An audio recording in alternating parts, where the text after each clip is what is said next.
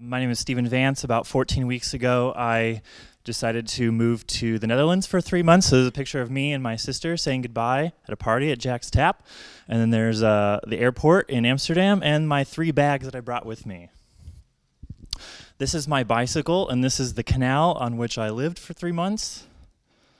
And this is the train station I got to ride my bike to every day. And on this special day, May 18th, I rode to the train station and I went to this city called Utrecht. And so here are some, three photos of this beautiful city in Utrecht, or of Utrecht.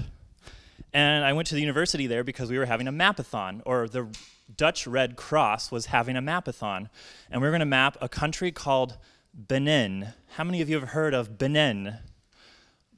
I had not heard of it.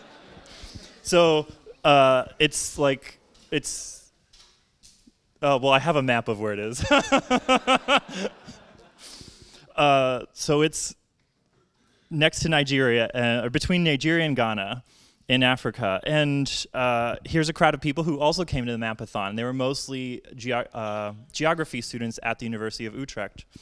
Uh, and there's a picture of me in the front. Um, and so at this, while we're sitting here, um, uh, someone from the Dutch Red Cross is explaining why we're going to map Benin, because they've been doing work there, it floods frequently there, sometimes those floods are really bad, and so a lot of people are displaced, and so they want to know where homes are. And so this is uh, a screenshot of Apple Maps satellite view. This is just showing like where people are living. Uh, this is where the Dutch Red Cross has their headquarters or sorry, the Benin Red Cross has its headquarters. Uh, here's a picture of what it looks like when it's about to flood. And uh, I didn't do much mapping because I ended up just helping people learn how to map. And I kind of figured that was going to happen because I didn't. There were 150 people there, and only about 10 people who actually knew how to do it really well. Um, and then on that big screen, they were. Oh, I'm done. Here it is.